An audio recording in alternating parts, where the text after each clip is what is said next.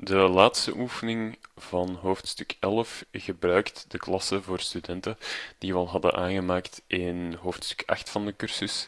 Uh, dat was denk ik onderwerp 3. Um, ehm, dus we gaan nu een lijst van die studenten aanmaken en we gaan zorgen dat we die lijst kunnen bewerken vanuit een gemakkelijke interface. Um, dat is eigenlijk een soort van taak die je voortdurend gaat krijgen als je op de werkvloer staat. Um, dus we spreken hier van CRUD-operaties, Create, Read, Update, Delete. Uh, kan je misschien bekend uh, voorkomen vanuit databanken ook. Um, heel veel van het werk dat programmeurs doen, is gewoon zorgen dat bepaalde data kan worden opgevraagd, kan worden toegevoegd aan het systeem, kan worden aangepast enzovoort. Eigenlijk frontends voor databanken schrijven is, uh, is echt iets waarmee je volledig je brood kan verdienen. Dus wij gaan hier, um, wij gaan hier eerste stapjes daar naartoe zetten. Uh, we gaan een statische methode execute student menu voorzien. Um, en die gaat onze lijst aanmaken en de mogelijkheid geven om elementen in die lijst te plaatsen of elementen in die lijst aan te passen enzovoort. Dus ik ga hier even, dat mag hier dicht. Um, ik ga hier even zien dat dat menu kan worden opgestart. Case 3. En dan wordt dat um, execute student menu. Ik ga dat in deze klasse zetten, dus ook arrays en klassenpunt kan je daar eventueel voor zetten. Ik zou het ook in de klas student kunnen zetten. Um, dat is een beetje hoe dat je het bekijkt. Uh, maar ik ga dus hier die Execute Student menu voorzien. En uh, er staat dat er geen return type is. Dit is ook weer zoiets dat niet gekoppeld is aan een specifieke student. Of um, ja, van deze arrays en klassen gaan we sowieso geen objecten maken. Dus die zal static worden, die methode. Public static void execute student menu. Het eerste dat we doen is dus een lijst van studenten maken waarmee we kunnen gaan werken. Dus een lijst van studenten schrijven we zo. Students is gelijk aan new list van students. En zoals in de vorige oefening, eigenlijk kan je hier ook vers schrijven. Ik doe dat liever niet te vaak, um, maar zeker als je met lijsten en zo werkt, heb je soms wel redelijk wat tipwerk. Um, dus ik neem het je niet kwalijk als je het met vers schrijft. Dan hier uh, gaan we eigenlijk ons, ons minuutje gaan blijven uitvoeren.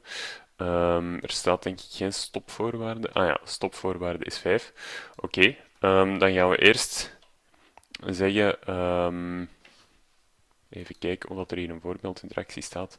Ah ja, wat wil je doen? Dus dan zullen we schrijven byte choice en dan do. We gaan dat met een do while doen, omdat we toch zeker één keer willen vragen wat de gebruiker wil doen. Console write line, wat wil je doen? Zo. En um, hier dan onze choice instellen op wat de gebruiker wil doen. Dus convert to byte. We gaan ervan uit dat dat gaat lukken. Uh, console readline. Dus onze gebruiker typt een bepaald getal in en dat wordt dan onze keuze. Dan gaan we afhankelijk van de keuze een bepaalde taak uitvoeren. Um, ja, en hier kan ik mijn, mijn do while nu aanvullen. Do while choice is niet gelijk aan 5. Zo. Dus hij gaat dat blijven herhalen zolang dat we iets anders intippen dan 5. En we gaan ervan uit dat hij eigenlijk enkel een van de mogelijkheden intipt. Um, dus even kijken. Hier gaan we dan op basis van de keuze een bepaalde taak uitvoeren. Dus we gaan dat met een switch doen. Switch choice. En dan gaan we case. Uh, ik zal al direct um, case 5 uitschrijven. Case 5 is gewoon break. Omdat daar eigenlijk, ja, dan willen we niks doen. En dan gaan we onze while eindigen. Case 1.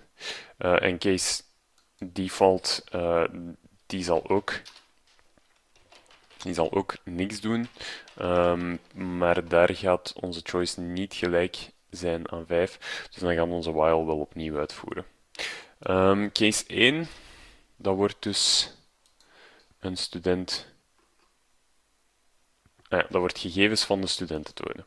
Oké, eh, dus als we de gegevens van de studenten willen tonen, wil dat eigenlijk zeggen dat we voor elke student die methode show overview gaan oproepen die dat al heeft. Dus we gaan doorheen onze lijst gaan en we gaan um, ja, elk element in de, in de studentlijst, die heeft een methode show overview. Ik zal even zoeken, show overview. Zo, dus dat is een instantiemethode, um, die print dingen op het scherm. Dat is eigenlijk wat dat we willen. Dus we gaan voor elke student die methode oproepen. Uh, dat is een vrij duidelijk geval van iets waarvoor we een for each lus kunnen gebruiken. Dus dan gaan we for each. Voor elke student in de lijst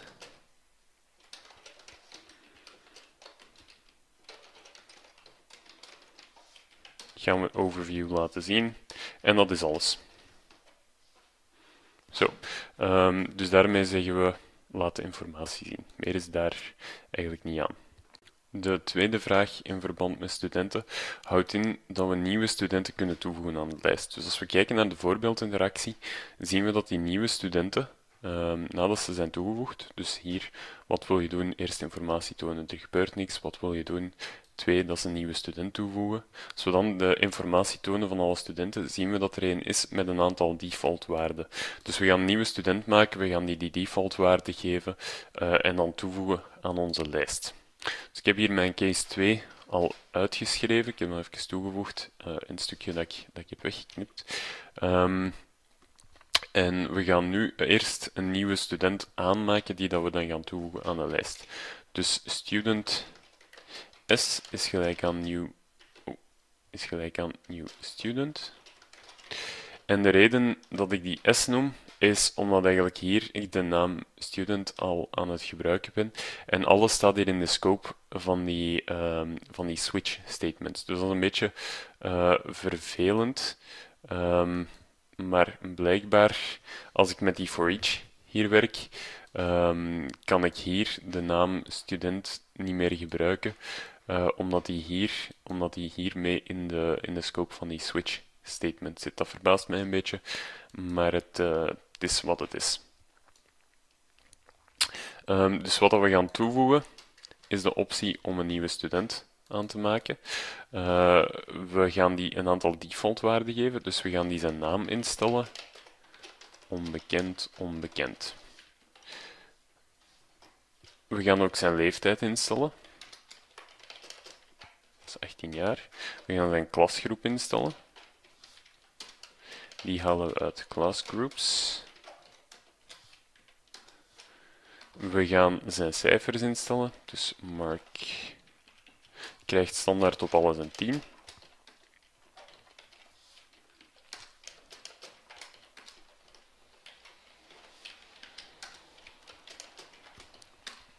En tenslotte gaan we hem toevoegen aan onze lijst.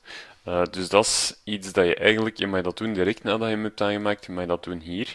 Waarom? Omdat onze studenten um, ja, reference types zijn. Dus overal waar dat we die S gebruiken, gaan we naar de plaats in het geheugen waar dat die data staan over een student en gaan we daar onze aanpassing doen. Dus het gevolg daarvan is, um, zelfs als we eerst dit hier al in onze lijst zouden plaatsen, als we hier dat zouden doen, dus uh, students.add dan wil dit hier nog steeds zeggen, ga nu naar de plaats in het geheugen waar dat diezelfde data staat die dat we in onze lijst hebben geplaatst en ga daar de aanpassing doen. We mogen langs de andere kant dat ook hier doen. Dat maakt niet uit, want onze lijst, um, onze lijst omdat we met reference types te maken hebben, uh, bevat de adressen van de objecten die erin staan bevat niet de, de data van objecten, maar bevat de adressen. Dus we gaan naar adres in het geheugen waar dat die data staat en daar doen we deze aanpassingen allemaal. Dus het gevolg daarvan is, uh, we mogen dit hier doen of we mogen dat hier doen. De derde vraag is om een uh, student aan te passen. Dus we kunnen dan één van die, van die zes eigenschappen die ik heb uitgeschreven, kunnen die aanpassen. Ik ga hier dat even kopiëren, dat gaat wat gemakkelijker werken. Ehm, dus bij case 3 schrijven eh, console write line. Wat wil je aanpassen? Ehm, en ik, ga dat, ja, ik zou dat in verschillende console write lines kunnen zetten, of ik zou dat met new lines kunnen zetten, maakt eigenlijk niet zo uit.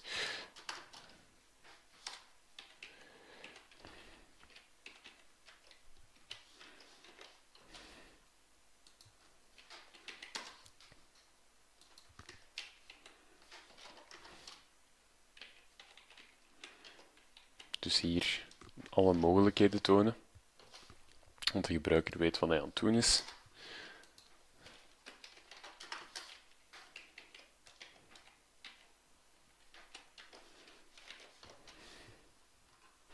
Ik ga het misschien gewoon zo laten voor de andere, dus die vul je dan maar aan. Um, dus hier ga ik dan inlezen wat de gebruiker precies wil aanpassen. Um, dus ik ga hier byte modified is gelijk aan uh, convert to byte console readline. En dan weet ik wat hij wil aanpassen. Dan ga ik hier nog een switch zetten. Switch modified. En dan case 1.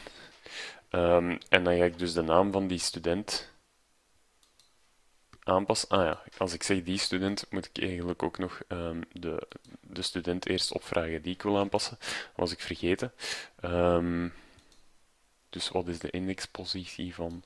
Dat gaan we dus eerst moeten vragen.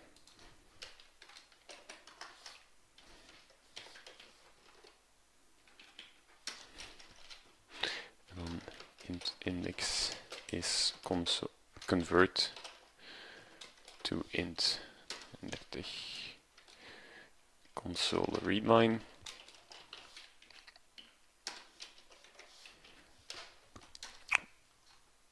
En dan uh, de student in kwestie. Ja, dat is dus wel een beetje vervelend dat ik die ook weer een uh, naam moet, moet geven. Student modified student is gelijk aan students en dus hier rechte haakje gebruiken mag. Index. Um, en dan wat wil je aanpassen? En dan kan ik hier, in het geval dat ik bijvoorbeeld een naam wil aanpassen, um, de modified student name is gelijk aan. En dan hier zal het zijn wat de gebruiker intipt. Dus dat is gewoon console readline. Uh, break. En dan mag ik hier ook zeggen default gebeurt er niks. We gaan geen rekening houden met, uh, met de mogelijkheid dat er iets fout wordt ingevuld. Dus dan moet je dat zelf ook nog even aanvullen voor, uh, voor de andere mogelijkheden. Um, dus ook voor de cijfers, die heb ik nog niet geschreven. En dan ook hier ook nog een break nodig, want dit, deze break is voor deze switch, deze break is voor de grotere switch hier. Zo, dus je kan, dat wel, uh, je kan dat wel aanvullen, de rest is heel gelijkaardig, alleen ga je nog soms een convert moeten doen van jouw readline. Um, ah ja, voor de klasgroep, voor de klasgroep, die ga ik misschien wel nog laten zien. Uh, dus daar ga je eigenlijk moeten op basis van, van wat dat er wordt ingegeven, um, ga je moeten de klasgroep kiezen. Dus mijn klasgroepen staan hier, EA1, EA2, uh, EB1. Um, nu lijkt het mij wel best dat we die, uh, dat we die een getalwaarde geven, zodanig dat we ze gemakkelijk kunnen intippen. Dus we zullen hier is 1, is 2, is 3 bijschrijven. En dan gaan we hier bij arrays en klassen. Um, dus case 2 moet je dan maar aanvullen. Bij case 3 gaan we hier modified student met class group is gelijk aan um, convert to in 32 console readline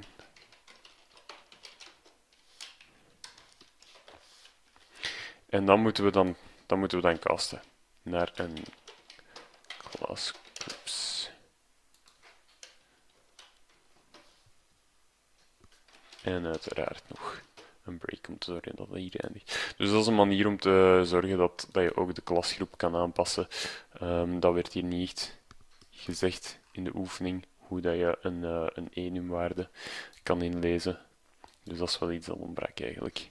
Goed, ehm, dus die, die andere aanpassingsmogelijkheden die kan je dan wel voorzien.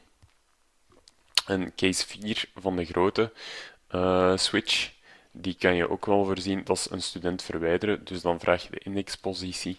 Um, en met wat we al gezien hebben over list remove add, uh, zorg je er dan voor dat die student uit de lijst wordt verwijderd. Ik kan nog even demonstreren wat er gebeurt als ik een nieuwe student toevoeg nu. Dus Ctrl F5. Nee, dat ga ik niet doen. Dat heeft misschien terug met mijn tijdelijke bestanden. Ah nee, ik heb ergens een uh, accolade vergeten blijkbaar. Um. Dat is een andere code nog. Dat is een oude code. Oké. Okay. Erase en klassen. Organiseren van studenten. Wat wil je doen? Ik wil uh, eerst de studenten laten zien bijvoorbeeld.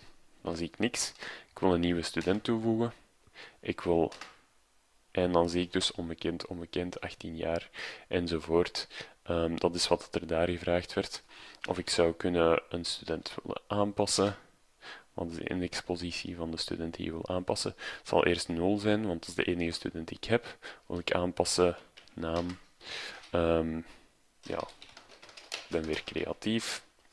Dan laat ik mijn studenten zien. Uh, dus is via 1. krijg je te zien